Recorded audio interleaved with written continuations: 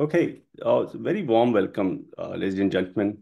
I would like to call it the very good uh, morning, noon, afternoon, evening, and for some of us, I know it's uh, maybe a midnight. Uh, this is a group, uh, HC Impact Group, a global expert network, which is presenting this webinar. And one of the things that I would like to say about this group is that this is the group on which sun never sets. Uh, so we have a very, uh, I think, a good galaxy of speakers today, and the topic is also very important. Uh, we all hear about the sustainability, ESG, and uh, the topic is the how to disclose human capital uh, in the ESG reporting by using ISO 30414 guidelines for internal and external human capital reporting standards. Most of the member of this group are, are the, uh, I think, called the co-authors of the standard. And uh, this uh, webinar is also going to is going as, as a live streaming on the YouTube channel of one of our, our member. And uh, uh, we are going to have the different threads about this conversation today. And uh, this includes a brief introduction about the this special group and uh, how this mission that we are chasing is a link with the overall uh, mission of the planet, that the sustainability. And then the uh, almost 15 different members, they're going to talk about the different threads, including the uh, components of the disclosure. How does it really impact the organization? How it can impact the uh, different stakeholders? Uh, what are the different important modalities in terms of the difference or the terminologies that those are being used in the standards. And uh, uh, most importantly, what's the purpose, why we are doing it, and what difference going to make to the organizations. And uh, the experts are going to talk, share their experience with also a focus on the relevant market. What is happening in the different parts of the world? Uh, you know, what organization have got certified on this standard. And uh, toward the end, we are going to have some, uh, you know, spotlight on what's coming ahead uh, because the members of this group are also part of the ISO technical committee on the uh, TC260. Uh, so in that context, I think uh, it's important to you know keep a tab on uh, the different things which are currently uh, in the process of evolution. So without taking more time, I would like to request um, Hilger Pothman, who is basically who is basically a driver behind the behind the entire process. And uh, he is uh, managing this also this group, Human Capital Impact Global Expert Network Group. And uh, I also uh, uh, uh, I'm supporting him in this webinar. Hilger began his professional career in 1985 at the Deutsche Bank and uh, Germany between the 2008 and 2024. He was responsible for as a regional head of HR and business partner covering a large part of the German region of the Deutsche Bank Group. Currently, he is leading his uh, their transformation enablement group in the Germany. Besides being a founding member of the, uh, you know, Goinger Kreis uh, in 2004, Hilger has been a voting member of the Society for Human Resource Management uh, in 2010-11, supporting the development of the US HR standard. In this context, he is also uh, an initiator and founding member of the German DIN, mirror committee of ISO TC260, which is responsible for developing the global HR standards with a specific focus on orchestrating guidelines for the human capital reporting, which result into ISO 30414 as a product. Hilger continues to be a passionate advocate and a driver toward the implementing ISO 30414 and establishing a benchmark around the human capital intangible for all the stakeholders. And uh, uh, Hilger also has the honor of uh, belonging to a company which uh, happens to be a second uh, uh, you know, ISO 30414 certified company on this planet, the Deutsche Bank. so Hilger is going to talk about the, you know, overall mission. what, what is the overall driver for this group and the composition of the group. So Hilger, over to you. And uh, I, I, I, can stop sharing my slides, or if you want me, I can just give me uh, next, and I'll move on the slides, whatever you prefer. Um, well, um, thank you, Sahid. Um, maybe you can show the expert uh, world map um, so people can see um, how large uh, the distribution of the group is. Maybe that would be helpful. Wonderful. So first of all, thank you, Sahid, um, for organizing this impressive event and for your nice words. You shouldn't have read that. It feels me, makes me, uh, you know, red in my face. I'm personally very proud that we see so many highly valued, true human capital experts on this call as speakers. And I must emphasize, I've seen a few names also as uh, participants. Um, human capital impact. Well, you know, nomen est omen, as the French say, um, or other languages. Um, we are simply a group of 25 experts as of today, and we share one single mission. Human capital is considered equally relevant as financial capital. We need to get this in the heads of all CEOs, of all politicians, of all talents, and um, of all regulators. That's our mission. E human capital is considered equally relevant as financial capital. Now, think about the reality where we all come from and think what will change in the next years and decades with human work in the human capital marketplace. So for investors, for talent, and for governments, that is relevant, and certainly for us as um, human capital professionals. Some of us have been working on this mission for decades. You know, we are in frequent um, or infrequent um, uh, conversations and exchanges with uh, Dr. Jac Fitz-enz, Dave Ulrich, and other very, very senior um, HR experts. Um, and um, they're very proud that this um, group, but specifically that ISO has ultimately um, produced and, um, and coordinated this standard called 30414. As a group, we started to meet and grow after the completion um, and the delivery of ISO 3414. And that was um, back uh, in uh, 2019. Beginning of 2019, we came together. Many of us, uh, we met during those years um, of the uh, standardization work at ISO and in all of these different country level mirror committees. And others joined um, our group over the past five years and the latest one, um, Dr. Christina Vollertun, she joined from a large insurance company yesterday. So the number 25 uh, was completed yesterday. Um, so this is a wealth of knowledge and experience. I don't know if we were to count the years of experience in the field of human capital markets of alone these 25 um, experts, plus the ones that are participating today it would be an impressive number of years um, that are sitting all together on this live stream and in this meeting. So back to you, Sahid. Thanks for the opportunity and getting this whole thing organized. Super. Thanks for the uh, wonderful start, Helge. And uh, with this, uh, we move to our next speaker. In fact, ladies and gentlemen, we have kept a very uh, small, uh, you know, amount of uh, the the the volume of the you know, talk for every speaker, just to make sure that uh, uh, it's not an uh, overload uh, for any of the audience, because uh, we have almost 15 speakers and like five to seven minutes on an average, everyone is going to talk.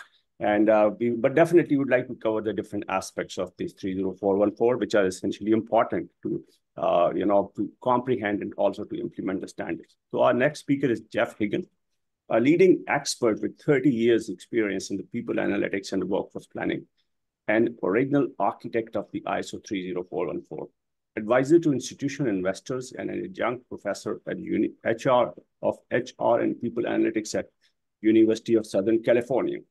A former CFO and CHRO, Jeff and his HCMI team are trusted by clients around the world for the smarter, data-driven decisions that quantify workforce ROI. So he's a professor of uh, the Analytics University of the Southern California, Marshall School of Business, co-founder Human Capital Investment and Reporting Council, member of the ISO TC 260 since 2011, architect of ISO 30414, advisor to the U.S. Securities and Exchange Commission on the Human Capital Standards in the United States, and 100% um, ISO 30414 compliant human capital soft, uh, software by the name of the Sol that he presents to the market. So over to you, uh, Jeff. Yeah, Uh, thank you so much, Zaid. It is a an honor and a pleasure to be here with uh, so many people that I've known for so many years, uh, and all of us are passionate about uh, human capital around ESG, uh, measurement, reporting, and perhaps most importantly, disclosure. Um, bad things happen in a dark room and it's really long overdue for organizations to disclose more information about their most critical asset human capital people. Um, so, what are the drivers behind all of this? Well, uh, Hilger, my uh, esteemed colleague Hilger, touched on this a little bit with the increasing emergence and importance of ESG or environmental, social, and governance uh, areas and issues. Environment, environmental issues have really grown in importance and are uh, increasingly well measured, reported, and disclosed. But social and governance aspects, in particular, human capital, uh, is still lagging behind in much of the world. Um, and that was one of the drivers of the original creation of the ISO standard 30414. Uh, so a lot of these, I'm just going to touch on some of these bullet points very quickly. Uh, again, the idea is just to speak for a few minutes, and then I'm going to hand it over to another of my esteemed colleagues, Solange Charas. Um, so human capital is increasingly being recognized as one of the most important drivers of competitiveness, value creation, sustainable competitive advantage in a highly volatile environment where uh, technology uh, uh, environment environment itself uh, is is changing rapidly. Um, so HR and human capital is pivotal to every organization's success. In fact, it is it again is the probably the most valuable asset, and yet that seems in contradiction with the fact that much of the most important information about talent, people, human capital, if you will, is not disclosed. So beyond traditional metrics, uh, crucial intangible aspects around, let's, for example, employee engagement, culture, leadership effectiveness, leadership trust, measuring these elements in addition to things like your cost of your workforce, uh, how many people you have, how much training you invest, and many other aspects, including including diversity, health and safety, compliance, are all critical uh, and and offer tremendous value to investors who increasingly recognize and actually include that value in some of their investment decisions. So companies are under pressure, increasing pressure from investors, government agencies, regulators, customers, employees, communities to be more transparent and uh, to be to be uh, fair. Many organizations are voluntarily disclosing more information. One way they can do that is by complying with the ISO 30414 standard, or even they can get certified on ISO 30414, which is a great way from both an, an offensive and defensive perspective to uh, show their compliance, show their transparency, and uh, minimize risk for their organization because they're able to uh, point at this global standard, which is the ISO 30414, uh, as the metric set of metrics and standard they are using as their guiding light. So you can see a lot of the reasons why organizations, you know, may want to comply with standards. So from an overall perspective and then a company perspective, you can see it's a great way to minimize risk, improve operating efficiency, support market expansion, environmental impact, and your own uh, meet your own ESG goals, uh, and also to improve improve business insights and better business outcomes. So uh, let, us go to the next page. Thank you. Um, so from a time perspective, I could probably talk for an hour on this, but we're going to make it just one to two minutes here. Uh, this is an updated version of a slide that was originally created and cited uh, by the uh, conference board uh, in some research that actually a couple of other members who are speaking, including Solange Charas, um, uh, helped put together in some research. Now I've updated it by adding a new a new organization to it, um, but you can you can essentially see that. Uh, oh, actually, that's the old version. So uh, apologies. Uh, the new version will be included. A new version actually includes the new CSRD, uh, ESR, EFRS uh, S1 uh, which is uh, was approved in the EU, European Union for human capital reporting disclosure, and many European countries are actually scrambling to comply with that beginning in 2025, uh, 20 actually 2024 and 2025, uh, with additional uh, phased-in uh, requirements being included. if you look at this and you just look at the colors, you can see that the quantitative versus qualitative versus both quantitative and qualitative kind of really show that from an uh, the third column, uh, which is ISO, really reflects ISO 30414, which is uh, in fact uh, the most quantitative of the other standards. With you know, simply simply said, it's the most blue of all of the different uh, standard setting bodies and frameworks out there. There are many other good frameworks that are being used. Most of them are heavily heavily required or heavily uh, focusing on uh, compliance from a qualitative and discussion standpoint as opposed to a pure quantitative standpoint. So it still leaves organizations and companies that want to follow these uh, these other networks and other uh, standard setting body formats to the ability to talk about it but not show anything specific in other words they could say they love their people and treat them well and everyone's highly engaged but they don't have to report their uh, employee engagement score so that's uh, that's the idea, the point, the value of disclosure and measurement is what gets measured gets managed, and what gets disclosed, uh, in all likelihood, is going to get more focus and improvement. Uh, with that, I'd like to turn it over to uh, my next colleague, uh, Solange Charas. Super. Thanks, Jeff, uh, for giving us a wider perspective in terms of coverage of the important aspects of the disclosure by the different uh, standards and the standard setting body. Okay, so our next speaker is uh, Dr. Charas. Uh, she's the founder and the CEO of the HC Moneyball and a professor of practice at Columbia University. Uh, Dr. Charas' work is focused on identifying and quantifying the material impact of the human capital on the corporate performance, generating thought leadership for the board directors and the C-suite executive, She's an expert in the area of the human capital disclosure required by the ESG governance framework. Uh, as a member of the ISO TC 260, she contributes to the development of the global human capital standards. Uh, Solange is a board director at the Conference Board, uh, World at Work, University of Southern California, and EZRA Coaching. She's a co-author of the Humanizing Human Capital, Invest in Your People for Optimizing Business Returns. I have read this book a wonderful compilation. Um, and is currently uh, writing her second book. This one focused on the human capital management in the professional services firm.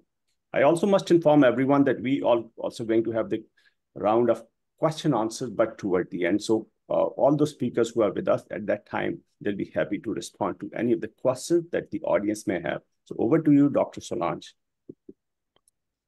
Thank you, Zahid. I am delighted to be here with all of you and be in such good company. Um, for the people who are participating, who are observers, um, this group of speakers, and there are some experts in our team that are unfortunately not participating, but we are really comprising the what they say the tip of the spear when it comes to human capital information, human capital compliance, human capital disclosures, and human capital standards. So my question today um, that I'm going to be addressing is what is the S of ESG, the S being the social, and how do we connect what's going on in terms of human capital in an organization and how that supports sustainable financial outcomes for organizations? Next slide, please. Uh, and I'm going to go through these slides pretty quickly. Um, obviously, we're not the only ones that are thinking about S as an issue.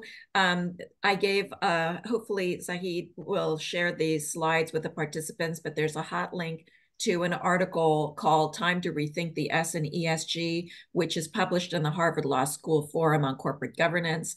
And um, you can see that the S is not just about employees, but it's about customers, quality issues, data security, um, supply chain management, um, your relationship with your suppliers and your strategic partners. So the S really covers a lot. Um, but today we're just going to focus on the human capital part of S. Next slide, please.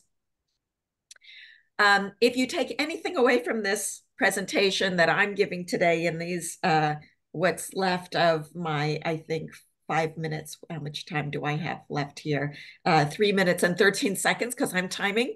Um, please focus on this particular slide that really recontextualizes or reframes the impact of human capital as a driver of sustainable economic performance.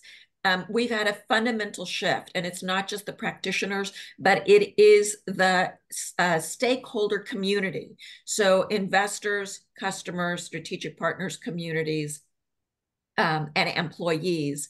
Um, and this is driven by the investment community um, that where the SEC and most of the uh, financial reporting um, bodies around the world are recognizing that human capital is not simply an investment or a sunk cost where you you know invest you allocate budget and you don't expect anything back from that budget um, that's the old orientation. The new orientation is that human capital is actually an investment in an intangible asset, that what we invest in people should actually drive a return on that investment that should support the organization's success. So instead of just saying, oh, I'm allocating $10 to HR and it's a sunk cost and I'll never see that money again, to think about how can I invest $10 in human capital to generate a return on that investment? How can people actually drive human capital or value creation?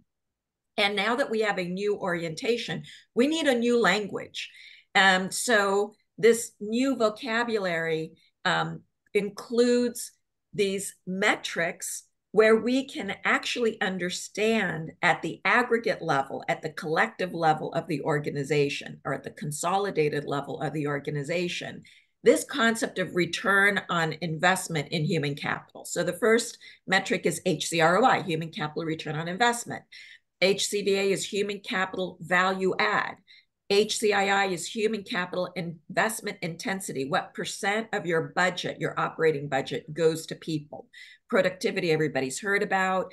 And then looking at new types of ways to measure efficiency and effectiveness of human capital in the organization. So we could look at things like a revenue expense ratio or productivity ratio or a compensation to productivity ratio. So it's very green, it's very new, it's very um, it's evolving and it will help us better understand uh, how to leverage or capitalize on our people in a way that drives sustainable performance without burning through or using up like a resource our people. So next slide, please. Um, intangible assets is not just a throwaway concept. I'm sure many of you have seen this, but according to Ocean Tomo, 90% uh, of the S&P company's market value um, is uh, driven by intangible assets. And if human capital is considered an intangible asset, then we are part of the value creating chain. So if A equals B, if human capital is an intangible asset and B equals C, intangible assets are driving market value, then A equals C. Human capital is driving market value. We have to think about a new way of, of quantifying that and capturing that. My time is up, so let me just go through these next couple of slides really lickety split. Um, one of the things that Jeff talked about was the ESRS S1 standard. Um, when you get the slides, you can click on the video and the uh, article that's that talks about this. Um, and um, it's really the standard that the European um, Reporting Advisory Group, EFRAG, um, with the CSRD, uh, is requiring companies report on human capital performance. Um, and as Jeff said, um, that was formalized um, uh, actually last year. Um, this is the first reporting uh, metric, the first reporting cycle for companies, large companies to report in 20, starting in 2025, with smaller, mid-sized companies and small companies reporting in the next 12 to 18 months. Um, and um, this is where we're going to see our first insight, our first glimpses into human capital efficiency and effectiveness. Next slide, please. Uh, in the United States, we anticipate that the SEC is going to release some guidelines for comment, hopefully this year. They are asking, or we believe they're asking for four specific data disclosures, the most important being the last one, which is an auditable line item on their income statement that represents their aggregated total human capital costs. So right now, companies um, basically obfuscate, they, they hide how much they're spending on human capital by putting it allocating it to different line items. So this will give us more transparency to understand the relationship between investments in human capital and their ability to drive financial results. Next slide. Um, and I'm going to just touch on this for a second. Um, materiality is the standard or the guideline or the yardstick that we use to understand um, whether or not we should invest in a company. So um, the uh, guidelines, the, the standard and the reporting guidelines actually now talk about two different types of materiality. Financial materiality, so what moves the needle on financial performance, and impact materiality, which I think is brilliant because it's not just about how much money do companies make, but what is their social impact in the, in the world. So you'll be seeing more of that. Next slide, please. Ah, I guess I'm done. So um, thank you for letting me go over a couple of minutes. Hope this was informative and um, enlightening. And I hope you'll all feel the same passion that we do about this topic. Thank you Thank so you. much, Paran. Uh, so, by the way, a quick compliment on your book. While I have been reading the every chapter of your book, so once I was going through the process, I always have been looking at the hard metrics that you use uh, that basically determine, you know, the measurement part of the everything that we can do in HR. Wonderful. Thank you. So with this, uh, we can move to our next speaker, uh, uh Oliver Cothrade. Currently working as the HR director for the Panasonic Consumer Electronics Europe. Besides his profession, he gave lectures to the students at the University of Nuremberg uh, in human resource management. Uh, Oliver is an honorary judge at the Labor and the Social Court in the Hamburg since 2012. He's also one of the founding members and deputy head of the German DIN Committee HR Management, which is part of the ISO TC 260. He's a strong belief that HR professionals should create tangible value with clear outcomes in all HR disciplines to overall business strategy and objectives. Therefore, transparent and aligned human capital reporting becomes more important. So, Oliver, happy to have your views. Yeah, thank you very much, Zaid, for the nice introduction and also a warm welcome from my side from Hamburg, which is in the northern part of uh, uh, Germany. And uh, what I would like to explain you in the next couple of slides is uh, regarding what, what is ISO and how has our work uh, started many years before. So first of all, regarding ISO. So ISO stands for International Organization for Standardization. It's an independent, non-governmental international organization, and it was founded in 1947 in Geneva, which is in Switzerland. And the, the overall aim of ISO is uh, to develop published standards to promote global consistency, quality, and uh, competitively across various industry and fields. And what you can see also on the on the world map below, that in, in, in many countries, maybe most uh, countries uh, of the world, um, so we have so-called national standard bodies, which in some way are also associated and in strong liaison uh, also with the ISO standard. So it's really a global network. So next, please. Um, and uh, as uh, ISO, what, what they are providing is really a governance uh, structure. And within this structure, the most important pillar are the technical uh, committees. And also what you can see here in the charts below, uh, over 800 technical committees uh, are, are, now working um, in, in, in, parallel on various topics. And you can also see that more than 25,000 standards has been released so far from um, from ISO and also from the experts uh, all over the world. And I think it's also very important uh, to know here that this kind of work which we are doing in these uh, technical uh, committees, so we are all, all doing this on a voluntary base. So we are not getting any kind of uh, uh, money for this. So this is really what we are doing as experts or let's say as um, colleagues who are really interested in developing these kind of guidelines for, for, for the whole world. Um, so therefore, it contains not only experts, but also from the industry, from the government, also from academia, like uh, universities, and also other stakeholders who are really interested in setting up these uh, global standards. And what is a standard in, in, let's say, in the short term? So it's really some kind of documentation. So where we are setting up rules, guidelines, or also some kind of specification that outlines the requirement uh, for, it could be in the technical area, it could be for products, it could be for processes, or even for management standards. Next, please. Yeah, and here on this slide, you can see so how our journey um, uh, began. Um, so we, we have started uh, in November 2011 with the first uh, plenary meeting of our technical committee 260 in uh, Washington, USA. And you can also hear the first uh, member uh, countries uh, who joined that meeting in, in Washington.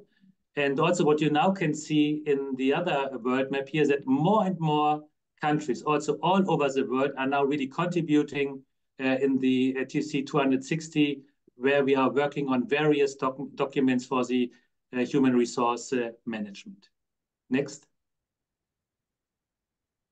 Yeah, and here I would like to highlight, uh, because today we are speaking about the human resource management uh, guideline for internal and external human uh, capital reporting. So this was really one of the first uh, guidelines uh, we have ratified and, and published uh, back to November 2018. and currently we are in the process for review and revision for the second edition. And this is now worked by the TC 260 and especially by by the uh, working group. And here we would also like to adapt the latest uh, developments in the market, in the environment, which also put, let's say, a strong impact on the overall human capital reporting guideline. And uh, as I also highlight here, number four, so I don't want to go in detail regarding these, let's say, very administrative uh, process uh, for concluding a guideline. So currently, we will be soon announce the the draft international standard for the revised standard on human capital reporting. And this will also come out for public review and commenting. So wherever you have an, an, an interest and you would like to learn about uh, the new revised standard, so please also follow the, the ISO uh, pages, or maybe you can also contact uh, one of our colleagues. So if you would like to have uh, more information uh, where we are in the process at the moment, because I think now the really important time uh, will come up where we will receive a lot of review and comments uh, before we are publishing the second edition for this reporting. Yeah, this is all I would like to share with you, really high level. And now back to Zahid. Wonderful. Thank you, uh, Oliver, for giving us the summary. So if in the nutshell, I think what Oliver is talking with that the, I, the standard basically helps us in speaking one common language and uh, honestly speaking, and toward the start of my career, I have always been thinking uh, the doctor, why the doctor, the engineer, the auditors, the actuaries, they speak common language of the standards. Why cannot HR? So basically, it's that uh, the dream comes true in the form of the uh, overall standards and particularly the ISO 30414, uh, which links everything in the HR with the clear outcomes. So we have now uh, the next speaker, uh, Kyung Hao, founder and the CEO of the Beijing Century MyWay Education Technology Incorporation, which offers management consulting, corporate training, and people development service. He has over 30 years management experience with the different companies, including Siemens and Walt Disney. Since 2016, as an expert of uh, standardization administration of China, he plays active roles in the ISO TC 232, education and learning services, TC 260, HR management, TC314, aging societies. TC321, transaction assurance of the e-commerce and TC342, management consulting. He's done MBA from University of California in the USA and BS from Liaoning University of Technology in the uh, China. So over to you, Kyung. Okay, thank you, Zahid, for the uh, brief introduction about my profile. And uh, uh, it's my pleasure to meet uh, so many experts and professionals in HR uh, arena. And uh, my part of the presentation today is talking about the difference between guidelines and requirements, double quote, in the standard. So when you see a standard, you will you by looking at the title, as many times it addressed with uh, guidelines, requirements, all requirements with guidelines. So uh, I'm it's so so I'm trying to explain to you uh, the main difference between guidelines and the requirements in standards lies in the level of obligation they impose on organizations and the way they should be applied. So let's take a look at the guidelines. Guidelines are advisory in nature and provide recommendations of best practices for achieving a certain outcome or goal. So they offer flexibility in how organizations can implement the suggested practices and allow for variations based on specific circumstances. So compliance with guidelines is typically voluntary, and organizations may choose to follow them as part of a, a broader strategy for improving performance or achieving a certain level of quality. So let's look at the requirements. Requirements set specific criteria or rules that organizations must adhere to in order to comply with the standard.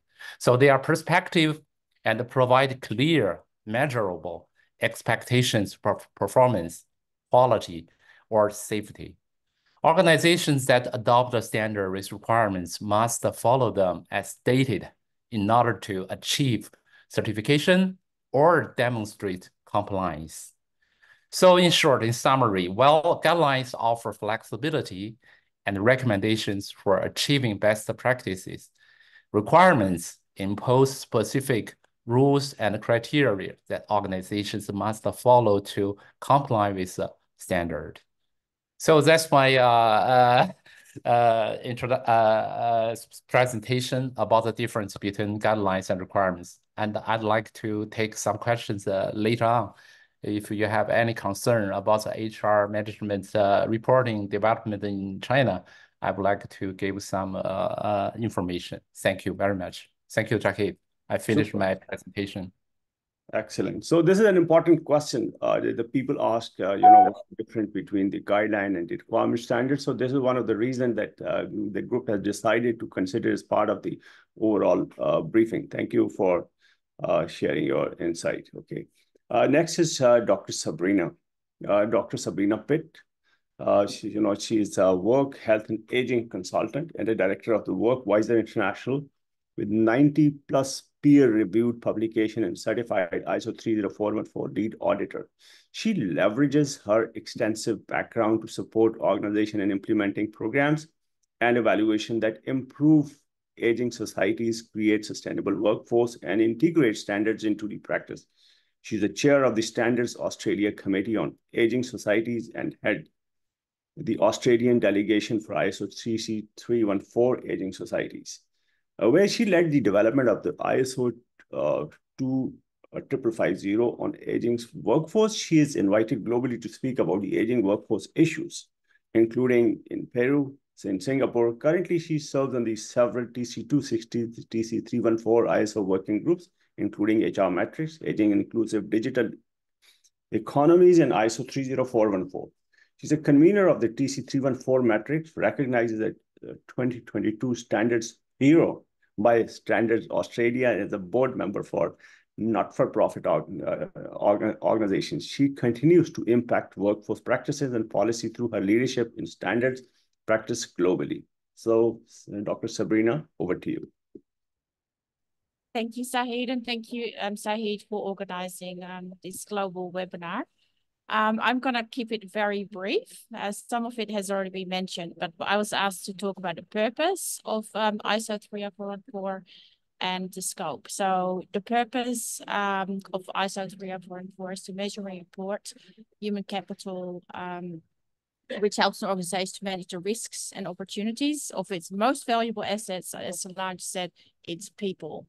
So understanding our human capital um, leads to productivity improvements. It also leads to uh, human capital performance understanding and a more sustainable workforce. So the comparison of performance across divisions and industries and locations, etc., can give um, your organization competitive advantage and improve decision making within your company.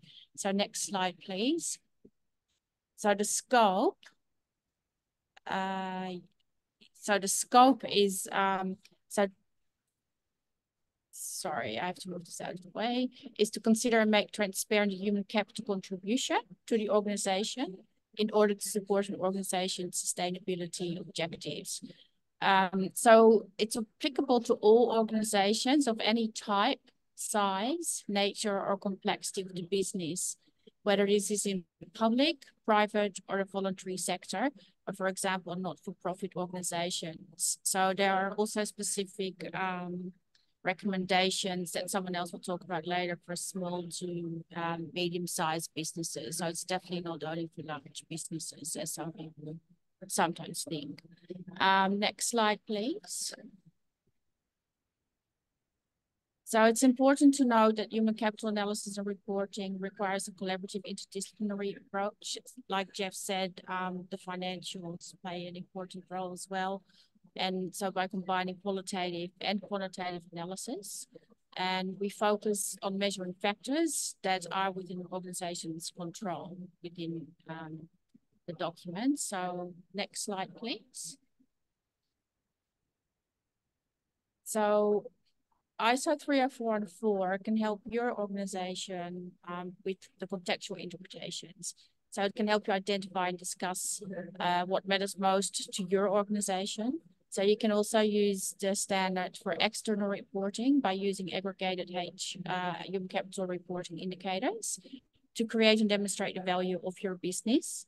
Um, for internal reporting, it's incredibly useful uh, to use standardized uh, human capital metrics to improve operational efficiency and strategic execution and hence your um, organizational decision making. So, and the last thing it can definitely help you with is measuring and evaluating the organization's human capital in both quantitative and qualitative terms. I also want to uh, conclude with saying that I'm at an AI summit today where there's a lot of talk about data. So I think there is a massive opportunity with the uh, release of the new standards in, uh, in the new year that the AI tools can help us make this um, a much easier process moving forward. Thank you, Saeed. Back to you. Brilliant. Uh, thank you, Sabrina, for managing it uh, despite your travel. Uh, we appreciate your participation. Yeah. Okay. Thank you. Uh, our next speaker is uh, uh, Nick, Nick, Nick Shafford. And Nick has over 50 years of the very work experience, including senior general management and the finance roles uh, from 1989 to 2017, he ran his own management consulting and professional development company.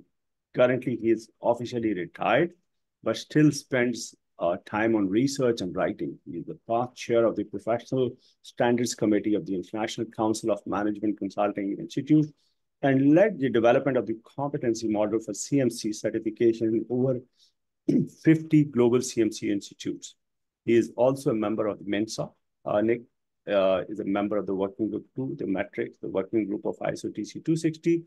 He believes that human capital is the untapped frontier of the competitive advantage and the value creation, but is poorly understood in the reporting. Thank you, and uh, over to you, Nick. Great, thanks, Saeed. Uh, it's again a pleasure to be with everybody uh, on this group, and uh, it's been a pleasure to actually work with everybody on this group. So uh, there's a lot of work that's gone on behind the scenes here, and uh, I think there's a lot of like minds. So as Saeed said, I have over 50 years of experience uh, in, in both financial and general management and 30 years in consulting and training. My sort of major uh, interest and my passion is in organizational culture. And as you can see, the subtitle of the book is essentially uh, not only the workplace battlefield, but where great talent goes to die. And then picking up on uh, uh, both on uh, uh, Solange's comments and on Jeff's comments, one of the, the problems with lack of disclosure is that organizations go out and spend a lot of money on talent bring it into the organization. And what we really need to understand is how well are they creating an environment within that organization where the talent can be optimized because people are the greatest asset, as Solange said. But in some cases, they're, then they don't have the opportunity to work at their best um, because the organization isn't creating a positive environment and we're seeing high turnover and things like that. So my passion is, as I say, organizational culture. So that leads us to our question, well, how does my work link to ISO 30414? And the answer is what Jeff talked about, which is you need to know what's going on with your people. You're not people are not only your greatest asset, you spend your largest amount of money typically on people. And as again, Solange said, we need to move from thinking away for as people as a cost to the organization, where we're trying to drive the cost down, to people as an investment in the organization. Uh, next slide. Or have I got it? Yeah, I think we're missing a few bits on here. Um, so what are the 11 areas of disclosure in ISO 314? Um, we were talking about this, uh, Sabrina touched on uh, the, the fact that uh, we contain a number of different metrics. And if you look at the standard in section 4.7.1, there's a table, table two, which I don't know if you hit the slide again, Zahid, whether the table will come up. Yes, there we go. Thank you. So table two, um, which is in section 4.7.1, actually demonstrates the specifics that uh, some of the other talkers have been uh, mentioning. Uh, again, we just, uh, Sabrina touched on the fact of organ large organizations, small organizations, internal and external measures. So the human capital areas, the categories, is that left-hand column there, and the metrics come in the second column. So each of the 11 metrics are explained in the following paragraphs in the standard, 4.7.2 through 4.7.12. And uh, very helpfully, I think, there are real-life case study examples shown in the annex to the guideline as well. So not only can you see what the uh, the suggested metrics are, you can see examples of both how they're calculated and how they can actually be applied in practice. One other thing to remember, it's not just ISO 30414 that we're talking about here. This is the core document, which contains the main metrics. But in support of these metrics, there are also a number of ISO uh, guidelines which our, our working groups have been developing, which are technical specifications around specific areas of these metrics. So, for example, there's a technical specification on how to develop the culture metrics in much more detail. There's a technical spec specification that only just came out uh, a couple of months ago on the, the very topical area of employee engagement metrics. So there are there is a wealth of information, not only in suggested sort of high level metrics, but in how you put these together. Next slide, please. So there are essentially 11 core areas. Let's start with the first one, which is compliance and metrics. There are five metrics suggested in compliance metrics. I'm not going to go through them all in detail, but this deals with some high level things like uh, uh, tracking grievances, discipline issues, disputes, and the results of audits, and uh, uh, all related to human capital, obviously. The second one is a group of items around costs, uh, human resources costs. And again, they talk about things like total workforce costs. One of the things Solange touched on is one of the, uh, the SEC uh, things that the US is trying to get a disclosure on is total workforce costs because for many organizations, looking at many, many people's annual accounts, you can't even see that information. And to try and assess human capital performance without understanding how much the organization is actually spending on its workforce is, is extremely difficult. So not only are some of the regulations moving in that direction, some of them already require this, but this particular ISO guideline uh, does include it and is one of the suggested areas. The third one is obviously a very well-known area, diversity and inclusion, uh, covers key areas, age, gender, disability, many things like that. And again, I, I re-emphasize here that many of these things are very consistent with the emerging requirements that are coming out of various uh, um, governmental bodies and regulatory bodies in terms of greater disclosure, uh, underpinning what Jeff was talking about, a lot of the uh, the whole area of ESG metrics around the social area. Uh, the fourth category is in leadership. Leadership here, essentially, we're talking about very important issues like the measuring trust, span of control, and leadership development.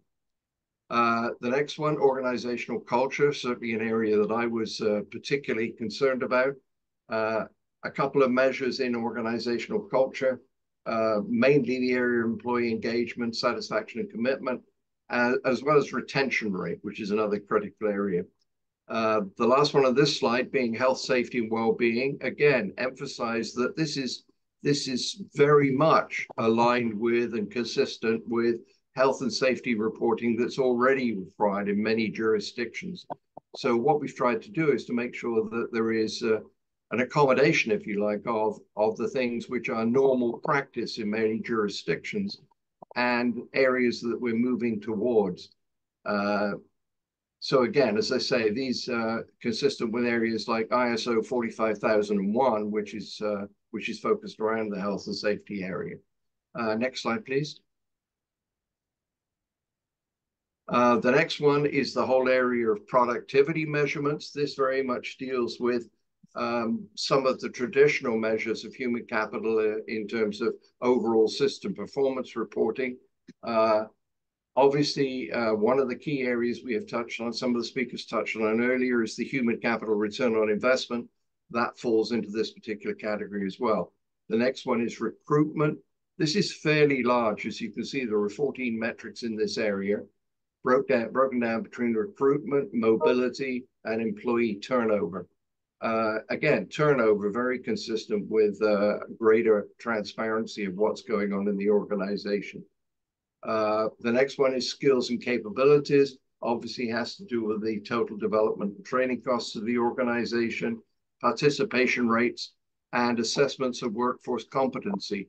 Again, absolutely critical if people are driving your value creation, as Solange talked about, we've got to understand how well the organization is doing in terms of uh, developing and retaining the competences it needs to do that. And uh, succession planning being the next one, three metrics in that area, uh, very much ensuring that there's depth for succession across the organization. Key to sustainability of the business model, of course, this is critical. And finally, workforce availability what is the contingent of workforce we've got, full-time, part-time, uh, and finally, the last measure in that category is in absenteeism rates. So as you can see, there's a wealth of measurements contained here that, that not only help organizations move towards uh, good practices or leading practices in measurement, but very much aligned with where the world seems to be going from a, an oversight and regulatory point of view. Next one, please. Uh, just to reiterate what, again, uh, some of the earlier speakers have said and what it says in the, uh, the chart that I showed, uh, there are suggestions in 30414 for both internal and external reporting. And one thing that was, was so important and remains so important is that there are different needs for large and smaller organizations. So we don't have a one size fits all. We actually suggested in the metrics that certain metrics should be used for both large and small organizations, but certain will be more applicable to larger organizations than smaller ones. Uh, it's very broad. Uh, obviously, it covers the core leading practice approach. Um, how ISO works, I think Oliver talked about this. One of the very important things to recognize is these standards are created not only by volunteers, but by people who are doing this work on a day-to-day -day basis. So these are not only academics, but practitioners, people working in the HR industry who are one of the uh, one of the speakers mentioned the uh, the head of the tip of the arrow, the tip of the activity. So hopefully um, these clearly represent uh, where the world is going. Sorry, I lost. Thank Sorry. you. Um, obviously, doesn't need to be said, I don't think, that the metrics in here need to be ultimately determined by each organization's own strategy.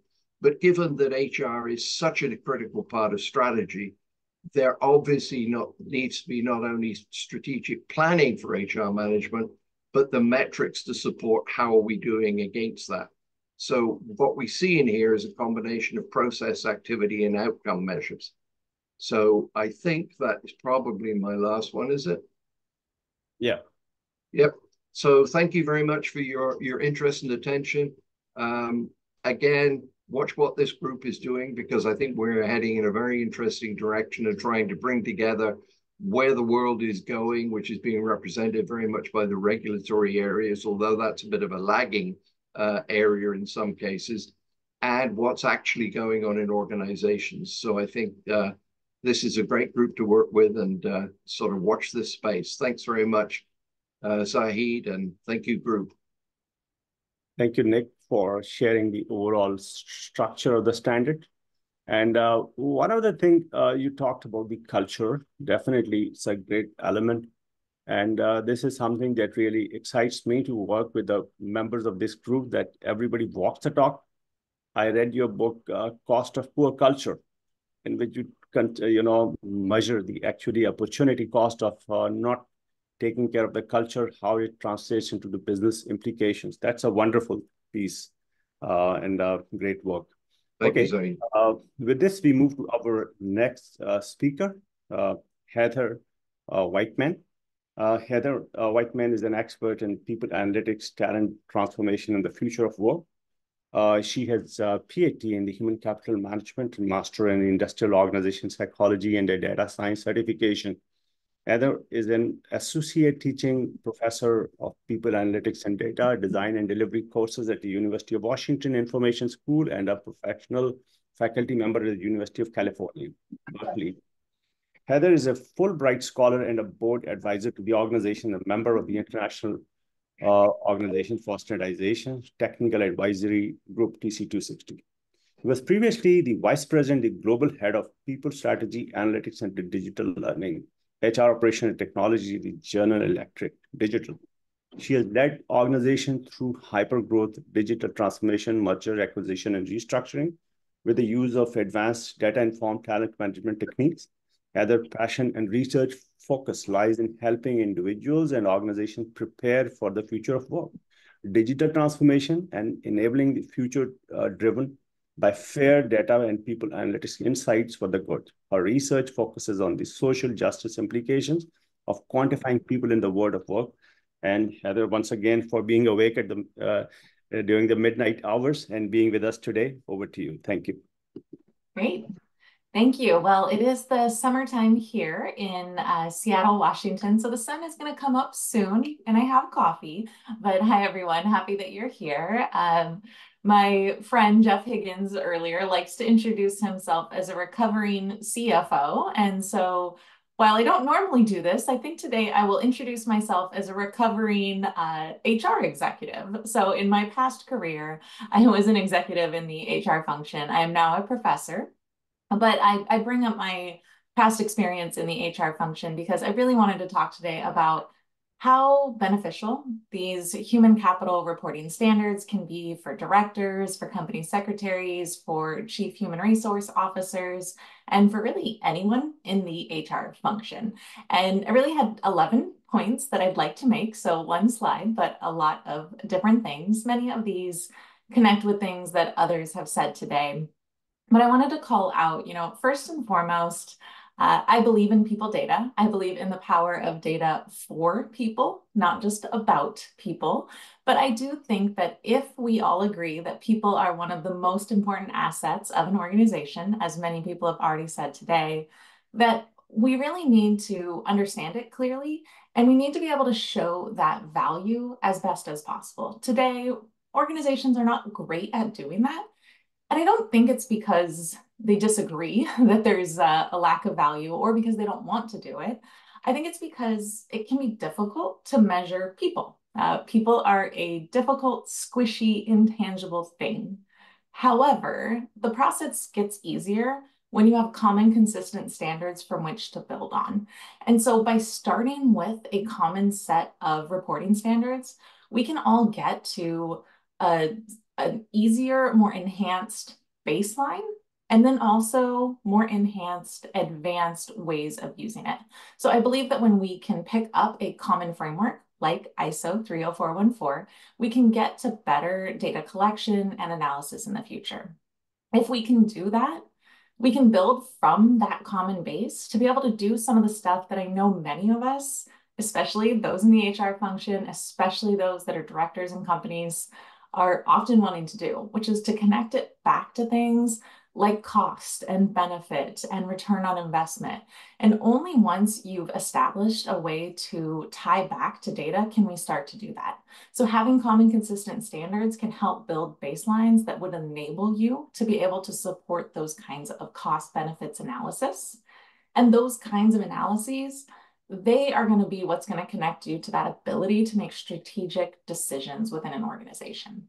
Those strategic decisions might be internal about how to make decisions and trade-offs about where you spend your resources or your times.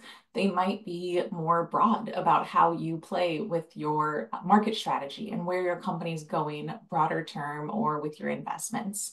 And when you can use that kind of data about your most important asset, then you can make the smarter decisions and you can communicate about why you're making those decisions and what you're making them about with other stakeholders, whether those stakeholders are internal to your organization. You know, maybe you are an HR professional and you need to communicate to the finance team why you need to make the investments that you need to make, or maybe they're external. Maybe you are a uh, company director, maybe you're in the C suite and you need to speak with investors about why it's important that we make the kinds of investments in our organization that we need to make. By having the ability to tie back to these things, that communication gets easier and it gets tied back to this value and it gets tied back to this value about our critical asset, which is our people.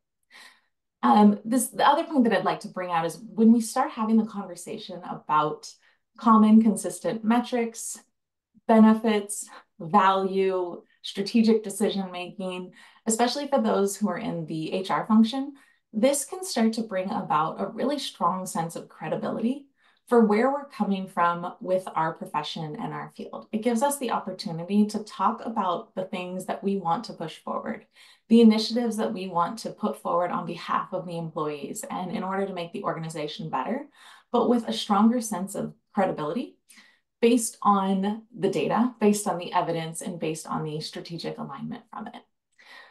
It's also going to come with some nice enhanced efficiency that comes with streamlined reporting. So I mentioned I'm a recovering uh, HR executive. I had uh, responsibility for the HR operations space. And if anybody has worked in that space, you will know that reporting in the HR field is challenging. Uh, there's always uh, confusion about what exactly is our headcount and how exactly do we compute attrition rate and you know what exactly does count as an incident and what is the ratio of retention versus this.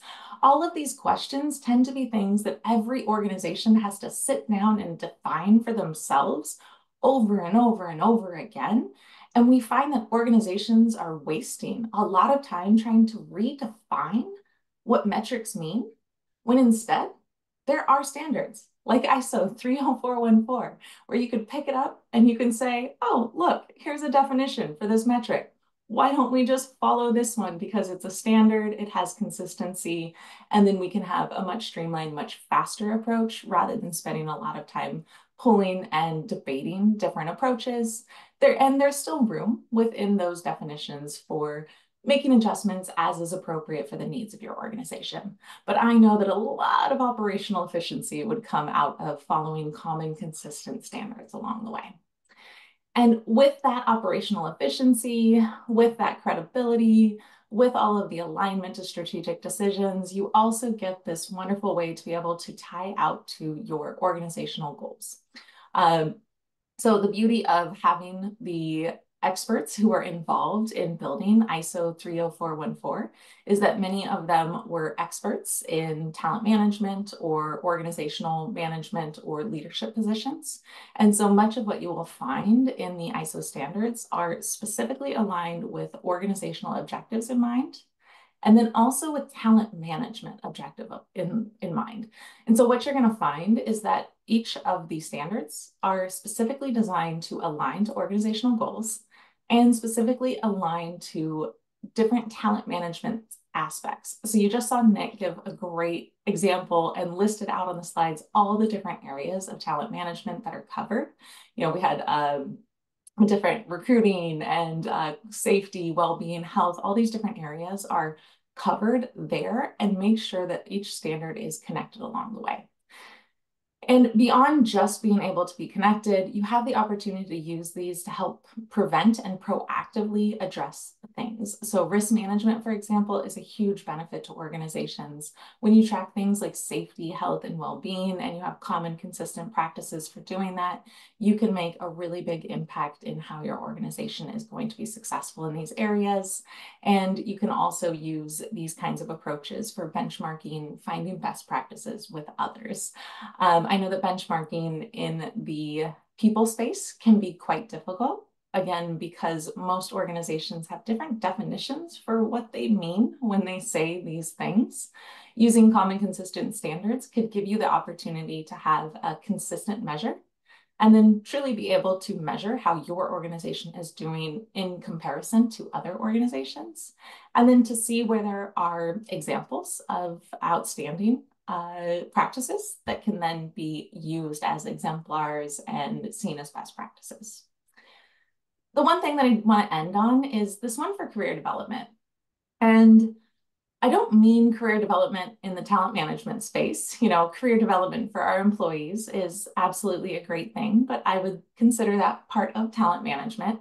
I mean career development for the directors, the company secretaries, the HR professionals, having the ability to identify, define, measure, and then communicate standard common ways of thinking about the most important asset of the company, which is the people, positions you as the person with the most important information for the organization and really is an opportunity to be in a career accelerating position, to have the insights about people puts you in a position to have the insights to make the big strategic decisions for the organization. And I would encourage anyone who's in these kinds of positions to consider embracing these as an opportunity for you to be a real strategic player in your career and just think about how much power there is in being the one who can advocate for the human capital in your organization. So I'm a huge fan of ISO 30414. I love data, and I think that these standards are going to give us an amazing baseline to be able to do so much more on top of them. So appreciate everyone who's also passionate about this, and I will turn it over to the next topic. Wonderful. So Heather, I think you have presented all the, the, the assortment of the benefits that it offers in a wonderful way. And I would like to mention that uh, now there's a, you know, the paradigm shift in terms of the value creation of the HR. Uh, yesterday, I was reading an article, the latest article by the Dave Ulrich, where he talks about the HR value creation model, and that is based on the stakeholder capitalism. So there's a payoff for everyone, all the stakeholders. And I think this is a, you've described everything in a very wonderful way that how the different stakeholders can benefit from this process. Okay, so uh, with this, we can move to our next speaker, uh, Suhair uh, Abu Salem. She's the Human Capital and the Communications Director for A3 & Co. Um, I hope I'm pronouncing the name of the company correctly. A strategic and a practical, uh, okay, thinker, certified senior international human resource professional from HRCI, ISO 30414 lead auditor and certified international trainer from International Association of the People and Performance Development, whilst creating a sustainable high level of human capital management to impact the business bottom line. provided consultation and delivered training programs based on 14 plus years of direct experience, worked toward the high standards and best-in-class practices in the different international organizations for different HR, management, the people development programs at different levels, in different languages, the different countries, and diverse cultures. So over to you, Suhair. Thank you so much, Zahid, and uh, welcome everyone. Uh, I think most of the inputs they have already covered why ISO 30414 is becoming essential for organizations. As you could see that ISO 3414 is the only international uh, standard for human capital management and reporting worldwide. So as you could see, this in, standard is not just uh, about ticking boxes for uh, compliance. Instead, it offers uh, a strategic edge that can elevate various aspects of your business operations.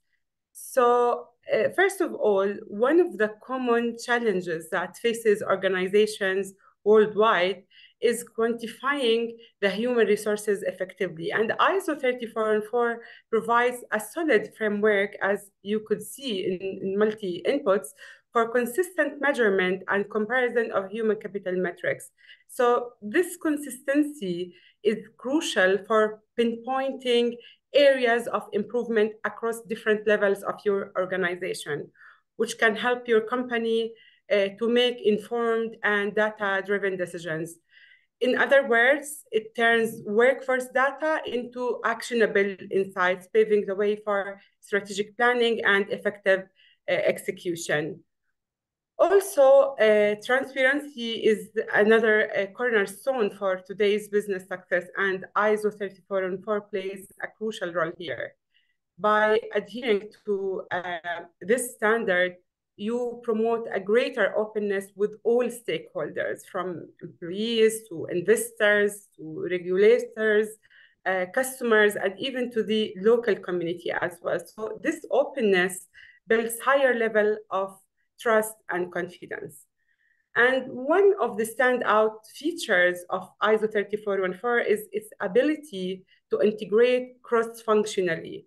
It brings the collective knowledge, skills, and abilities across various uh, functions, whether they are from the legal, communications, the IT, HR, health and safety, investor relations, or finance. So this standard bridges these departments. In addition, in the world of operational excellence, ISO 3414 serves as a very powerful tool. So this standard helps uh, in establishing optimized workflows and processes leading to greater efficiency across the board. And adopting ISO 3414 can significantly boost your competitive edge as research shows that companies excelling in people analytics are far more likely to outer, uh, outperform their peers financially, which means it can help your business stand out in the marketplace. Another critical aspect that ISO 3414 can help in is the compliance and risk management, uh, which is critical for any business operation. Here, ISO 3414 supports companies in meeting human capital reporting regulations effectively, and it provides a solid framework for managing risks associated with the entire employee life cycle. And absolutely, in today's business landscape, sustainability is more important than ever. And ISO 3414, as you could see, it, it has a compatibility with many of the reporting frameworks, but in specific, the, uh, the requirements of ESG, and in particular, by quantifying the human capital related uh, requirements.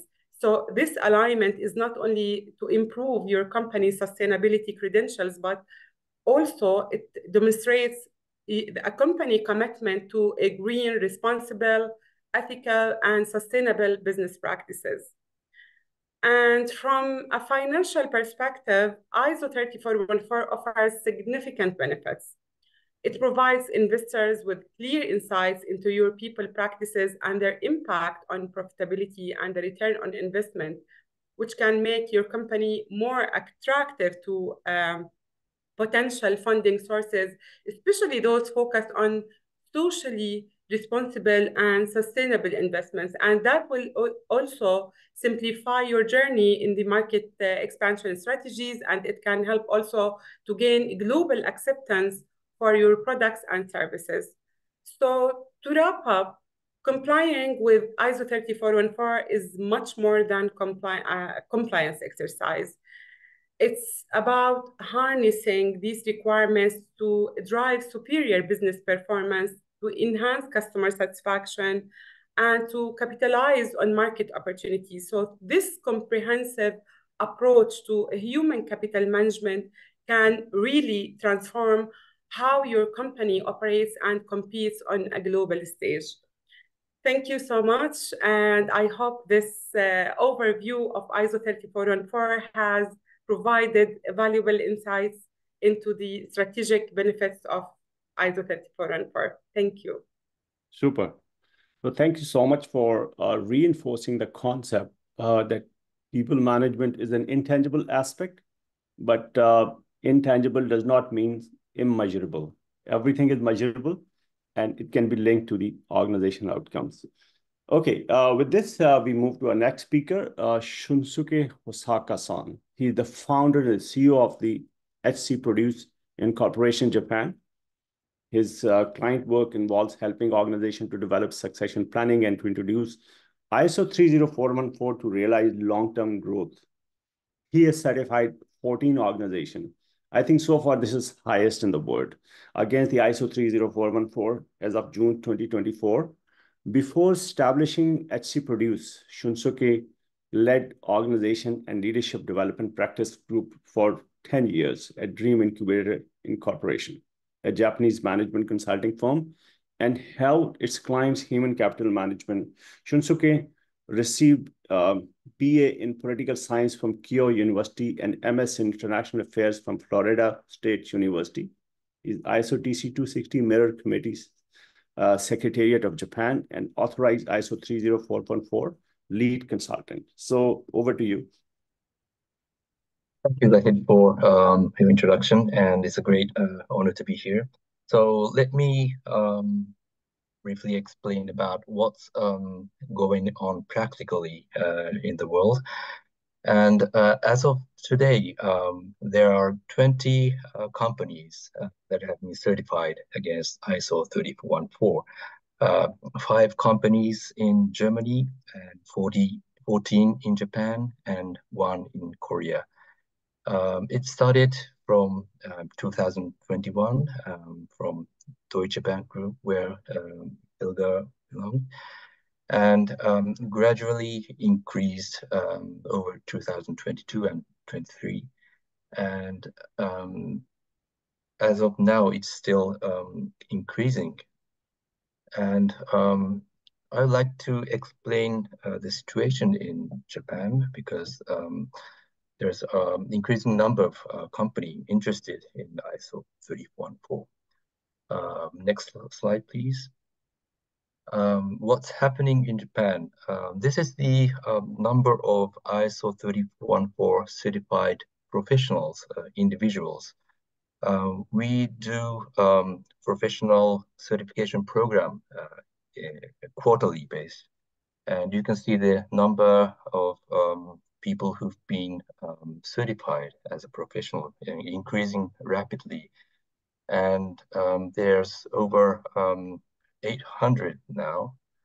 And many of these um, professionals come from consulting firms. Um, next page, please. There are about 50 companies um, who have become our partners and who have sent their consultants to our program. And they are joining our program because their, their clients are interested in uh, human capital reporting and asking for them their help. So when we calculate the um, number of companies uh, who have started to introduce ISO 314 in Japan, uh, we estimate that it's uh, more than 500 now. So um, to the next slide, please. Um, um, the reason behind this uh, big reason is that um, it has become mandatory in Japan uh, for companies to uh, report human capital. As you can see in the bottom, um, last year, uh, the Japanese Financial Services Agency uh, has um, announced a new rule to make it mandatory for uh, public companies to report human capital in their securities report. So with this um, uh, regulatory um, background, uh, it has it has become mandatory for uh, organizations to uh, report human capital. Uh, next page, please. Um, but um, those companies don't know how to um, report human capital. But um, so ISO 3414 uh, gives a kind of uh, guidance to them uh, what to do and how to report. So this is the reason um, why Japanese uh, companies are now started to uh, introduce ISO 30414. And I'll also um, briefly explain how should we write um, human capital reports. Um, next slide, please. Um, many of the ISO 314 certified uh, organizations um, have issued human capital reports. And this is um, a snapshot of the um, reports from each organization. And um, it doesn't have to be um, human capital reports. Some uh, organizations uh, do it through uh, IR report or annual reports. So uh, next slide, please. Um, here are the uh, five points um, for uh, writing human capital report. So first thing is that um, there's no right answer for uh, writing a human capital report. Uh, ISO 3.4 doesn't specify uh, how to report that. Uh, it could be integrated report or it can be human capital report or ESG report or just put it on a web page. So you can do it anyway. And the second point is that um, think of who you want to communicate with. Um, our colleague has um, uh, presented about the importance of, of, stakeholder communication and especially um, investor could be the uh, primary target, but it's not only uh, investors, it could be um, donors or customers or even job seekers. Uh, in Japan, many companies are starting to report human capital to attract talent because uh, in Japan there's a decreasing um, number of um, workforce. And um, some companies do it to attract their own workers, uh, their employees. So um, it is important to uh, think of who you want to uh, convey your message. And third point is um, data is of course critical, but um, narrative explanation is uh, important as well because um, data alone does not um, uh, tell the meaning of the uh, of the number without uh, the context. So, um, for example, um, a turnover rate for 3% for an organization could be good or bad. For a company who sets a KPI for 10%, 3% uh, is too low. But uh, for a company who sets a KPI for 1% turnover, 3% uh, is too high. So um, without the um, context or uh, KPI or some explanation. Um, the number itself does not um, explain enough. And the fourth point is um, it is very important to show the uh, link between business strategy and HR strategy. It's um, close to uh, narrative explanation, but um, especially investors, uh, they want to see the relationship or um, correlationship between the uh, human capital uh, metrics and the possibility of um, future growth of that organizations. So um, it is very important that the um, data shown, uh, human capital data uh, reported, is related to the uh, business strategy of the organization. And the last point is that um, ISO 30.4 metrics uh, are not the only metrics. So um, some organizations have their own metrics and some industry could have their own metrics. So um, using ISO 30.4, um, you can also um, report your own metrics. So uh, we always recommend to use uh, ISO 30.4 as a tool for uh, reporting.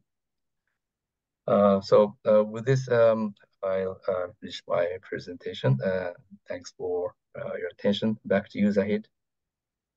Okay, super. so thank you so much for sharing us with us the overall condensed version of the, you know, what all is happening in your market and what to keep in mind while writing a report. And also, uh, we appreciate your effective role modeling, modeling in terms of uh, influencing and motivating all the stakeholders for their effective engagement with the ISO 30414. Okay, so our uh, now next speaker is uh, Dr. Kyung-Soo Shin, and he's the founder of the SGI, Sustainable Development Growth Institute, which is a very famous company focused on the leadership training and the organization culture consulting in the Seoul, South Korea. He's a member of the Leadership Development Committee in the South Korea, which is a non-government organization to study and report uh, what the Korean CEO leadership has to be. Uh, furthermore, he's an HR advisor of the InnoBiz uh, Association in the South Korea. His final goal is uh, going to support the sustainability of the Korean company through human capital enforcement. Uh, to make his goal come true, he's now developing himself to promote ISO 30414 to the Korean companies. He's the first mover called an authorized consultant of ISO 30414 in the uh, South Korea. So over to you, Shin. Thank you, Zahid. Uh, before, before showing my presentation file, I'd I'd like to say I'm very impressed by the speech of uh, uh, uh, Hosaka Shunsuke. Uh, the kind of ambience of the situation of Japanese, the current spreading out of the ISO 30414. Anyway, I'd like to say my, uh, my presentation file. Uh, I'm very happy to be able to talk about the Korean situation regarding uh, 304, ISO 30414. Uh, there are main, uh, three main topics to announce today. First, the background of ISO 30414 being introduced in Korea. Second, domestic spread situation of 30414. And third, the situation of uh, ISO 30414 certification. Uh, firstly, when it comes to ISO 30414 itself, uh, 30414 was first introduced in South Korea in December 2022. After I attended the TIS 260 general meeting held in Berlin, Germany in 2022, I wrote an article related to the HR global standards discussed there, and I sent it to the Hankyung, the number one economy newspaper in South Korea. The related content was about the global trend and the necessity of ISO 30414. The surprisingly, several companies contacted me uh, after reading this article and expressed their interest. And I constantly publish related article in HR magazine and the other newspaper. As their article are posted online, people seem to be gaining interest. Uh, uh, second slide. Next slide. Second one is the domestic spread situation of 30414. After issuing a newspaper article, many companies gave me uh, uh, their interesting about uh, ISO 30414. And I decided to open consultant course just like uh, Japan. Five people, at the first time, five people in charge of HR department enrolled this consultant course. The time was March 2023, uh, last year. And in September, I opened a second course. And at this time, 20 people registered. And this year, 2024, this year, March, 16 people completed a course and received a consultant certification. That means that the number of receiving consultant uh, certification of ISO 31444 are 40 people. However, it can be said that the purpose of taking a certification course is a strong nature of studying to find out what the ISO 30414 is. FYI, the ISO 30414 consultant course that I am conducting is the onion course about the 30414 in South Korea. Uh, next slide, please. Third one is the situation of uh, ISO 30414 certification. Uh, finally, uh, the first company in South Korea to receive ISO 30414 certification was born in May uh, this year. I'm very happy. The company is in the pharmaceutical uh, field and is name of Dong-A Socio Holdings. In South Korea, it is a company with a very high reputation as one of the top 10 companies in the pharmaceutical, pharmaceutical industry. The certification audit was conducted by uh, our friend Jeff, CEO of HCMI, and I also did my best to help Jeff finish ISO 30414 audit about Dong-A. The time I spent with Jeff was very enjoyable. Uh, it was very happy time. And I, although it was hard work, it was very happy to become the Dong-A to be certified. Uh, currently, there are two companies in South Korea preparing uh, for receiving ISO 30414 certification. I can't announce the name of the company because I haven't received the official application of the certification yet. But there are very uh, famous companies. Above things, uh, current situation about ISO 30414 in South Korea, although they are still far away from global trend and below status of our neighbor country, Japan, Shinsuke. Uh, I will do my best to so that more companies in Korea can receive ISO 30414 certification. Thank you very much, my colleagues. Excellent. Yeah, and I finish my before I finish my presentation, I wanna give my honor to uh, Salon, uh, our best colleague, because I'm reading a book I got uh, so many, so much of inspiration about human capital uh, due to our colleagues, Salon. Thank you, Salon. Super. That's all. Thank you very much, my colleagues. So, um, as you mentioned that uh, I think uh, you've been able to successfully implemented this standard uh, for the individuals and also one of the organizations. So uh, this brings us to an understanding that HR itself it's a practitioner, consultant, researcher, academician. Uh, this is one of the key stakeholders of this process. And uh, you can add a lot of value to the industry and also, you know, it has, I think, the strong uh, economic prospects for the individuals as well. Thank you. Uh, that's why I said the sun never sets on this group it reminds me to a uh, you know the time about the time frame uh, I think 10th 11 November in Washington DC when the ISO TC 260 was created. I was one of them. And there were four countries in the uh, working group HR metrics US uh, Germany France uh, Netherlands and Pakistan itself. And by now you can see how this uh, tide is rising and how more and more people are getting involved with the standards Okay, so uh, next is I would like to have uh, you know uh, some views about the different aspects of the 30414, uh, particularly from the individual capability point of view. I'll skip my introduction. I can only say that I'm passionate for this uh, 30414 and particularly human capital analytics right from the outset.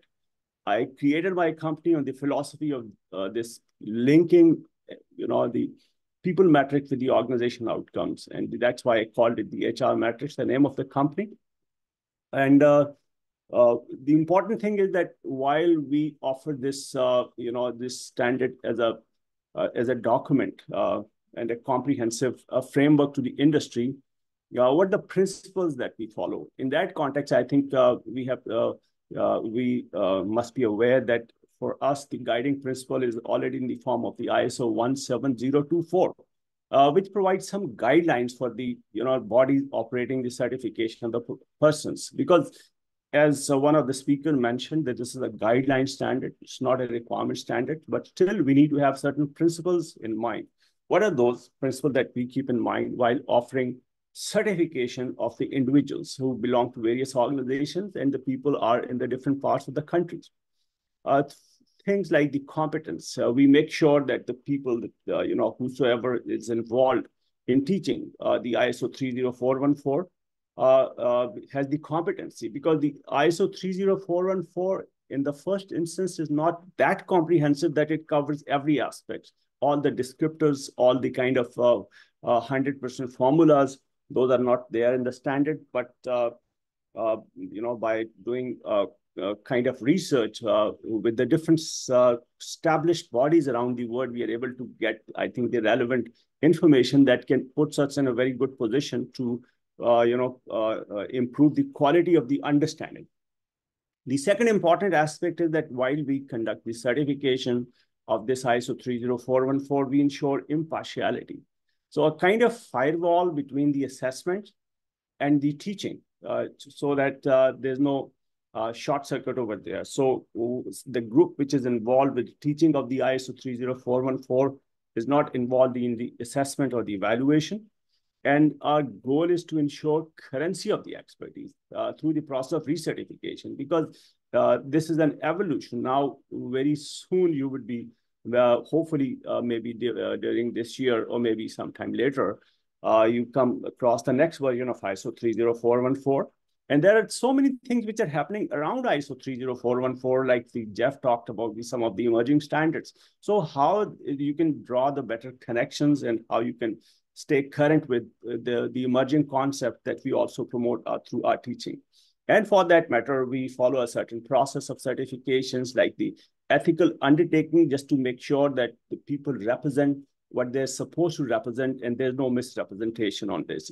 So there's a proper disclosure of in terms of the content, the structures, uh, the status of the standards, uh, uh, the uh, kind of different organization structures on the with the different stand the standards are applicable, which is a small, medium, or a large organization, and the process that we follow for the you know offering the training and also the assessments.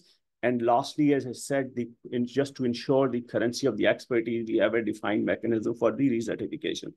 So on the basis of this whole structure, we are able to come up with a program that has a, I think, a win-win for everyone. With as a practitioner, as a consultant, as an academician, you can benefit from it, but while making sure there's no conflict of interest. And that means that if you're acting as a consultant with a company, you're not supposed to be an auditor with that company. So this, this thing, this is the key element in the entire process. And using the same framework, fortunately, we can say that we've been able to develop, I think, over 800 people so far around the world. I think, uh, and uh, we also have our partners in Japan, and uh, Shunsuke Hosaka has already mentioned that this is the highest number so far, I think, uh, mainly in the Japanese market. And the people that come not only from, uh, they belong to different territories, the different regions. So there's a good mix of the people almost in every part of the world now, uh, within our homeland and outside. So they represent uh, the HR, uh, the overall, uh, the they are in a position to offer the not only consulting and training, but build the organization in whatever way the organization deems appropriate. The ISO 30414 has already a defined structures that is in the form of the, I think, the overall 11 different clusters, the 58 metrics. And uh, those metrics are uh, basically the applicability of those metrics. It depends upon the structure of the organization the organizations uh, could be a, if it is a large organization, all 58 metrics are applicable internally. But for the external reporting, only 23 are valid. If it's a small and a medium organization, there are 32 metrics which are applicable. And for the external reporting, only the 10 metrics are applicable. So I think this was all about uh, the overall, uh, you know, building capacity of the overall industry uh, from the professional certification point of view. So with this, I would like to uh, move to our next speaker, uh, Dr. Heiko, uh, one of our, you know, key practitioner who, who, has, who, has, been very instrumental in building the capacity of the overall market. I think he was the first certifier on the earth. And uh, of the uh, by uh, certifying a company, if I remember correctly, DWS Asset Management. So Heiko is a board member and the senior partner with the 4C Group uh, Germany and uh, this uh, management consultancy. He studied business administration and engineering at the University of Karlsruhe and did a doctoral degree at the University of Berlin. And with the 4C Group, Heiko is responsible for the four C's, HR management practices, uh, supporting companies all over the globe in HR management related projects. He joined ISO and DIN in 2016 and is one of the content authors of the Human Capital Reporting Guidelines, ISO 30414, which was established in 2018. He supports organization in implementing ISO 30414 and also offers certification services for the company in and in the ISO context. Heiko is a board member of the Goinger Kreis, a think tank for people in the responsible for HR position, the business and the science, who act as a thought leaders and drive initiative for sustainable employment. So Heiko, over to you. Thanks, Saeed. Uh, can you hear me, by the way? Very well. Right, wonderful. So thanks for having me, Saeed. Uh, it's really it's really an honor to be part of this uh, group and to have the opportunity to talk to you guys. And well, hello everyone. Um, I'd like to talk uh, to you about um, two topics. So first of all, which organizations provide certifications at all. And on the next slide, um, I'll talk to you about how a certification process uh, could possibly look like. So let's start with the organizations that provide certifications. So very important for you to know is that these are only examples. And I'm completely sure that I forgot some um, organizations or companies that provide certifications. So sorry for that. But at least these are some um, organizations that we as a group are aware of. Um, that they uh, provide certification services in the context of ISO 30414 because um, a lot of these um, companies have um, senior executives that are part of our group, Human Capital Impact. So let's start with um, HC Produce in Japan. Our esteemed member, um, Shunsuke Hosaka-san, um, he's the founder and CEO of HC Produce. Um, he offers certifications in Asia, especially for companies, first of all, but also for individuals. Um, then 4C Group, my own company, we offer certifications for companies only. We are a management consultancy and um, with a strong human um, resource management practice. And uh, we offer certifications for companies only, not for individuals. And then we also have certainly uh, HR Metrics. So uh, Saeed is CEO, CEO of HR Metrics and he just informed us that he had uh, hundreds of individuals certified against ISO 3414. Um, he's headquartered in Pakistan. Um, and then we have um, HCMI, Human Capital Management Institute, um, with Jeff Higgins um, is the founder, also an esteemed member of our group. He offers also certifications for companies headquartered in the USA, as far as I know, in Los Angeles. And then there's also the Human Resource Standards Institute. A lot of you guys probably have heard of uh, this institute. Um, they offer certifications for companies, especially um, in the area of ISO 3414 and also ISO 3415. So these are only some examples um, of companies that provide certification services. Um, as I already said, this uh, we probably missed one or the other company that is also providing certification services. Then please uh, to the next slide, Saeed. Thanks. Um, so, and now I want to talk to you about how an organization can get certified.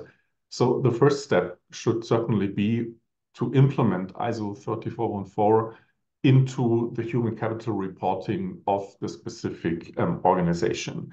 So certainly, first of all, you have to purchase the standard. You can purchase it directly at the ISO homepage. Just Google ISO 30414, and then you'll find directly the landing page where you can um, purchase uh, the standard and then certainly read it, understand it, and implement it within your own human capital reporting. Shunsuke Hosaka just uh, told us how to put together a decent um, human capital report. So do, is, do this as the first step. And then if you implemented um, ISO 30414 within your human capital reporting, then the next step can certainly be the certification. So um, apply um, um, at a certification body to get certificate, um, certificated and mandate the certification body to perform a certification um, assessment. And then um, the certification organization will do this assessment. And if this will be um, successful, you certainly get a certificate and an assessment report by the certification organization, perhaps by one of those um, that I mentioned before um, on the previous slide. And then I think step three, from my understanding, is the most important step because a certification is nothing if you do not do something with it. You know, if you do not use and and um, um, do something um, of value with the transparency that you produced by implementing ISO 30414 within your human capital reporting. So, and, and therefore, step three for me is the most important step, uh, and this is what I call benefits collection. Um, you certainly can, um, you know, use this certification in order to uh, do marketing around it and communication internally, externally, PR campaigns and things like that. With this, you certainly can further position um, your HR function, for example, or even your company in general, um, that um, you're further professionalizing your um, HR management framework within your company. But what you can also do is you can do benchmarking um, for these KPIs with other companies that have been certified because now you have a higher level of comparability, you know? Um, it's not like, um, you know, um, comparing apples with bananas. Now it's rather like comparing green apples to red apples, for example. So the comparability is much higher because you can rely on if a other company that you're benchmarking with is also certified against 3414, then you can be sure that the KPIs that you are benchmarking are, you know, calculated very similar, similar to the calculation that you used. So do benchmarking, try to understand where, where you are and how you can um, get better. And then what I call active management of disclosed KPIs, not only providing transparency, not only um, disclosing the KPIs, but also start to actively manage these KPIs and, um, you know, in order to increase your performance within these KPIs and then automatically within your workforce and within your company. So this is in a nutshell um, our um, understanding of the certification process. Um, thanks for your interest. Thanks for your attention. And again, please follow us, our group Human Capital Impact on LinkedIn. And if you have any questions uh, regarding this topic, please do not hesitate to contact one of us or me directly. And then over to you, back to you, Zahid. Thanks. So much. Thank you, uh, Heiko, for putting this information together. I think this is a key question, one of the key questions that the people ask, how to get certified, and most importantly, how to have access to the authentic and the reliable organizations which are truly compliant of the standards in the true letter and the spirit. And, uh, okay, so uh, we just we now move our, to our last speaker, uh, and uh, he's Brad Boyson. Uh, he's the co-founder and CEO of the HR Learning, a boutique uh, capital consultancy based in Dubai, UAE. Mr. Boysen has been an active ISO HR standards member since project inception. Washington, D.C. 2011. He's currently convener ISO 30414 Human Capital Reporting and the vice chair of the Standards Canada Council, mirror committee for the ISO TC 260. A frequent international keynote speaker, his contribution to the pro, uh, professional body of the HR knowledge include publishing a chapter on the global HR economics as, a, as well as co-authoring three different professional study guides, preceded by five years as an exam item writer for HRCI GPHR certifications. His diverse global practitioner experience includes head of the HR operations role for Mitsubishi Corporation, uh, Vancouver, Canada, Royal Caribbean International, Miami, USA, and Emaar, Dubai, UAE. During his practitioner career, he worked on the different inhabited continents, coupled with the overseeing workforce diversity and excess in excess of the 80 different nationalities. And he's going to talk about now what's coming ahead. So over to you, Brad. Thank you, Zai. Just confirming you can hear me? Very well. Wonderful. Well, I want to thank all of those people watching live who've uh, um, gone through all of the excellent speakers so far. As Zahid mentioned, my um, section, I don't have any slides to present, and I'll explain that shortly, is on version two of the standard. So part of the reason I don't have slides is that it's still a work in progress, and there's nothing conclusive until the standard is actually, the version two of the standard is actually published. But what I wanted to talk about a bit today is just sort of the direction to which the technical committee is going without getting into any specifics. And as you can imagine, when we reopened the um, working group for 30414, uh, our first plan of action was to sort of study the gap, do a gap analysis in terms of what had changed since the original publication in 2018 and what were the market needs um, uh, five years later. And as you can imagine, in, in any field, a lot of things change in a period of five years. When the original 30414 was published, there was it was the only um, entity and standard in this human capital dedicated space. Since that time, several significant global entities have entered into the human capital standards and regulation space. And part of our mandate as a working group is to enhance version one, and I emphasize the word enhance, but also try to look for areas of alignment with these other international standards. So ISO has that unique position of being international in every sense of the word, in terms of its working groups, in terms of its mandate.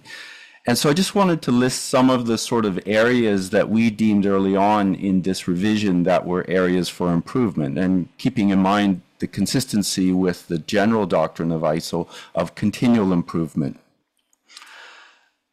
So if you think of the standard itself in sort of two buckets, you know, you have the metrics area of the of it, but it is a reporting standard as well, and it's not one or the other, it's a combination of both.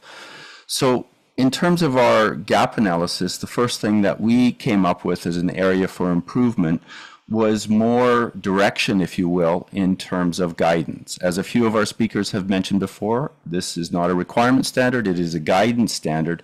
And so, what were some of the areas that we felt we could enhance on? Um, one of them was, as other speakers have mentioned, is more of an alignment with sustainability. Uh, back in 2018, there were, were entities and discussions sort of as to framing the concept of sustainability. Some people equate it with ESG.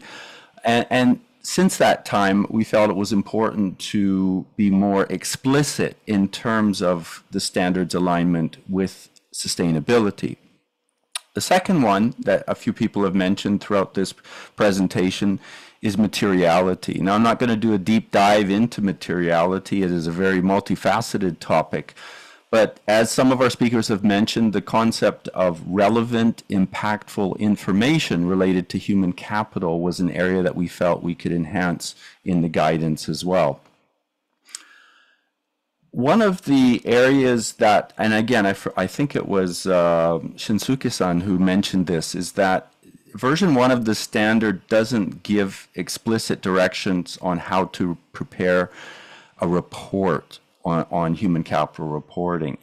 And it was felt that we could be more explicit in that areas as well without sort of giving a template per se. There has been an alignment with different entities um, in the global standard space to converge on a common framework for disclosure.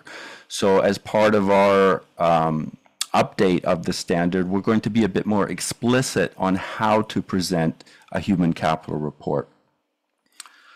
Um, one of the areas that probably you would anticipate is that did we miss anything in version one? Were there any metrics that should have been included? Were there metrics that perhaps were a bit redundant or overemphasized? So again, it's a work in progress. I, I can't be explicit on what the outcome of that will be, but I just wanted to update everyone as that's part of the mandate of the working group is to find where there might have been some metrics that could be added to be more comprehensive, but also in terms of the efficiency of the standard itself, where there might be some redundancy of metrics, where we might do some consolidation. That's really sort of the high level overview that I wanted to share with everyone. If I'm sure there would be questions as to when the version 2 will be coming out. And again, this doesn't have a specific answer. It's based on the speed at which the working group goes through the various stages of the ISO development process for standards. As others have mentioned, we've just entered into the draft international stage of this, which is sort of just over halfway, if you will. That's sort of a heuristic, don't take it literally, of the development of the standard. But I think it's fair comment to say that we're targeting having this enter into the public domain as a published document, fair comment in terms of probably Q1 of 2025. So I'm going to leave it there. Uh, I'm going to pass it back to Zahid for any follow-up. And I'm not sure if we're going to do questions or anything, Zahid, but I leave it to you. Thank you so much. Uh, so with this, uh, uh all the speakers, we are done with their talks. And now we, I think all the time is up. We can still have some time for the question or the comments that anybody may like to have, and then we can would like to close this webinar. So anyone with any questions or comments, feel free to type in the chat box, or if you wish to speak, uh, that would be preferred.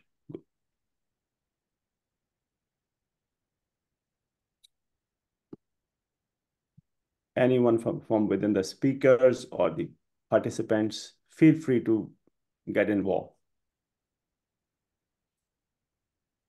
David Simmons from HCM Metrics in the UK. Thank you, everybody, for a wonderful overview of all that's been happening in the last few years. Um, it's good to see some marketing uh, in this area, and I commend everybody in pushing forward in this very important topic. Thanks for your remarks, David Simmons. Okay. Thank you, Nick, for sharing your email ID.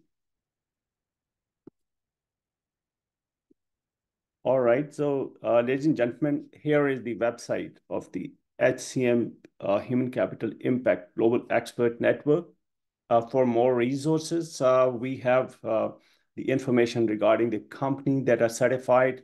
Uh, hopefully, we'll have more information in times to come. We're also going to upload the webinar, I think in next uh, two days. So feel free to get in touch. We also have a page on the LinkedIn. And uh, with this, uh, if you have any, don't have any further questions or comments, we will be uh, closing this uh, sessions. Or Helga, would you like to have any final remarks? Over to you. I do have a very quick comment. I mm-hmm. want to thank you, Zahid. This has been wonderful, great experience. Um, a lot of time went into that in getting this thing organized. But I also want to thank all of you uh, participants who spent all the time with us. Two hours in a webinar is a lot of work, a lot of attention. This was fantastic. And certainly to all of my partners, you know, uh, I see them now on the screen. Uh, it's very touching and very, very um, impressive um, what has happened today. And um, and the good thing is it's being taped. Um, and the good thing is for all participants, you can reach out to any one of us in the Human Capital Impact Network and beyond of that for individual conversations um, that you might have uh, took, taken notes about. So Zahid, thank you to you and your team. Pleasure and happy to connect and serve the group. Uh, so uh, thank you everyone for connecting from the different parts of the world in the different time zone and hoping to have more such dialogue in the future because this is a process and we'd like to, you know, we are open to learn from each other. Thank you once again. All the best. Take care of yourself. Bye. Thanks, Helga. Sadia, you can close the webinar. Thank you. Thank you. Thank you so